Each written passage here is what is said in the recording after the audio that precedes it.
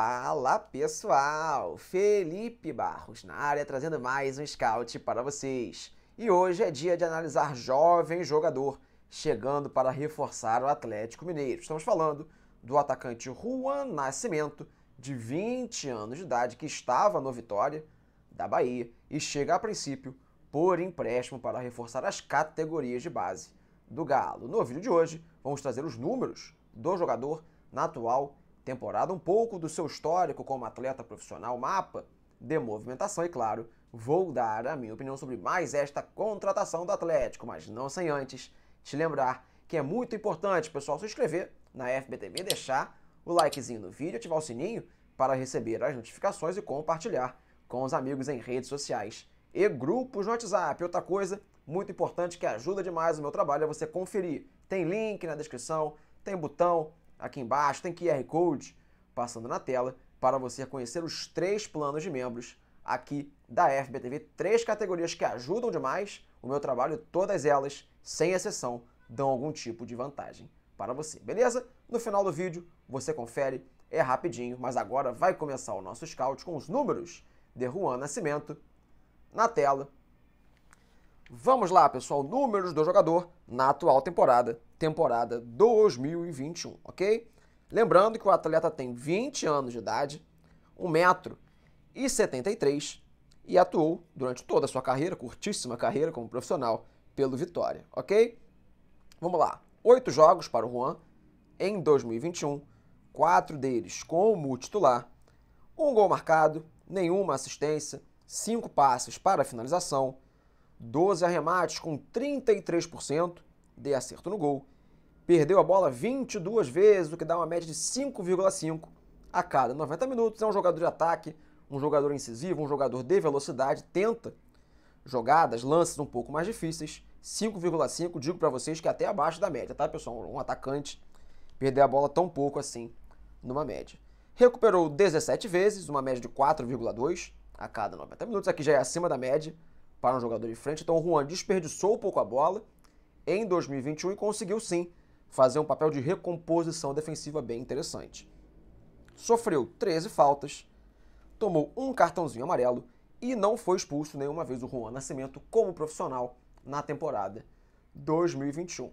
Bem, pessoal, dá pra gente ver por esse quadrinho que o Juan Nascimento está começando a sua adaptação como atleta profissional. Teve bastante destaque nas categorias de base, do Vitória. E em 2021 está sendo o primeiro ano que ele está tendo mais chance de iniciar partidas, por exemplo, como um atleta profissional. Oito jogos na temporada, metade deles iniciando, não vindo do banco de reservas, com números modestos ainda, mas iniciando a sua trajetória como atleta profissional, beleza?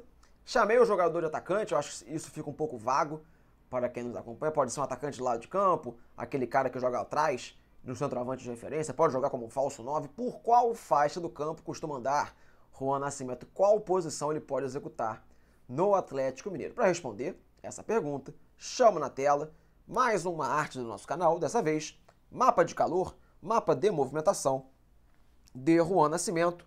Agora engloba a temporada 2021, esse início que nós vimos, e também os seus números em 2020 pela base e pelo profissional. Ok? O que a gente consegue tirar desse mapa de calor, pessoal? O Juan Nascimento é aquele cara que vai cair mais para os lados do campo, principalmente lado direito. Ele é canhoto, rápido, gosta de ter a bola colada no pé, parte para cima da marcação, gosta muito de receber a bola aberto pelo lado direito e traz para dentro, tenta o drible para fazer a finalização ou então criar uma chance de gol para os seus companheiros. Como você consegue, a gente consegue ver, pessoal, nesse quadrinho, ele ataca bastante também a zona central, recebe da direita, traz para o meio, às vezes recebe no meio, puxa para o lado direito, só o lado esquerdo do campo do ataque que ele ainda não frequenta bastante. Lado direito, com mais participação e também a zona central, dá para a gente esperar bastante o Juan aparecendo nessas partes do campo, beleza?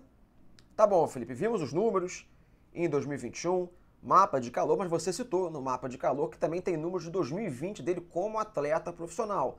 Com apenas 20 anos de idade, teve participação na temporada passada na equipe principal do Vitória. Como foi o seu rendimento? Começou bem? Foi assim que ele conseguiu as credenciais para atuar em 2021? Pela equipe principal do Vitória. Para responder essa pergunta, chamo na tela mais uma artezinha do nosso canal. Dessa vez o histórico na carreira. Pessoal, normalmente eu trago os últimos quatro anos do jogador, mas o Juan Nascimento não tem ainda quatro anos completos como jogador profissional, só atuou em 2020, em 2021, então um resumo da ópera. Esse quadrinho, essa arte que vocês estão vendo, tem todos os números de Juan Nascimento, desde que saiu das categorias de base, ok? Números de 21 nós já vimos, não preciso ler novamente. Vamos ver em 2020 como foi a sua estreia como jogador profissional. Oito partidas, somente uma como titular. Sete desses oito jogos foram na Série B já do Campeonato Brasileiro, então já é um torneio com nível técnico um pouquinho melhor do que o Campeonato Estadual, por exemplo. Não marcou nenhum gol, não deu nenhuma assistência, um início modesto também. Quase nenhum desses jogos ele começou como titular, né? teve poucos minutos, apesar de ter oito partidas dentro de campo. Seis passes para finalização, dois arremates, um deles acertou o gol e perdeu a bola 20 vezes, um pouco mais do que em 2021 numa média, né? 7,1 a cada 90 minutos. Voltando para mim, pessoal, reta final do nosso vídeo. O que eu acho demais é essa captação do Atlético Mineiro. Fica bem claro, pessoal, ao longo de todas as artes, todos os números que nós vimos no vídeo, que o Juan Nascimento está começando o seu processo como profissional. Não acho que o Galo esteja trazendo o jogador para contar com ele já em 2021 como um atleta profissional. Parece que ele vem por empréstimo, vai passar por um período de teste na categoria de base para ver se aí sim firma o contrato, se o Galo faz definitivamente a aquisição do jogador. Eu acho que para, a categoria de base, para jogar no sub-20 do Atlético Mineiro, eventualmente no sub-23, se o Galo decidir disputar né, essa categoria no Campeonato Brasileiro, eu acho que é um jogador que serve, é um jogador que tem predicados, é um jogador que tem potencial, sempre foi muito bem quisto nas categorias de base do Vitória. Bem ou mal, um jogador que já tem 16 partidas como um atleta de cima, então para jogar na base, acho que é um jogador que já está até pronto, bem maduro, para ser uma peça importante nas categorias de base. Como profissional, não vejo o Juan Nascimento em 2021 tendo espaço no elenco tão forte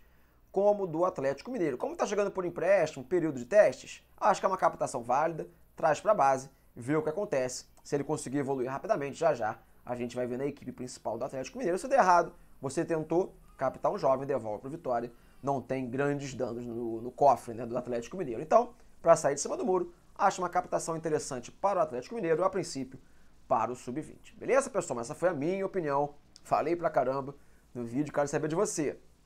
Torcedor, se você gostou dessa captação, dessa contratação do Atlético Mineiro, se já conhecia a FBTV, se você não conhecia, se inscreve aí, deixa um likezinho e comenta o que você achou dessa contratação, do canal, feedback, tudo é bem-vindo para a gente poder ampliar o debate e o nível aqui da FBTV. Show de bola? Fechei a tampa do nosso scout, espero muito que vocês tenham gostado, o vídeo está acabando, quer dizer que você pode abrir agora a descrição do vídeo, conhecer os planos de membros, o UOL, Esporte Clube, Rafa's Conversation Club, nossas redes sociais, fortalece lá o trabalho do Felipe Barros, isso vai ajudar demais a FBTV a continuar no ar, beleza? Espero que vocês tenham gostado. Um grande abraço a todos e não esqueça de ativar o sininho que vem mais scout por aí.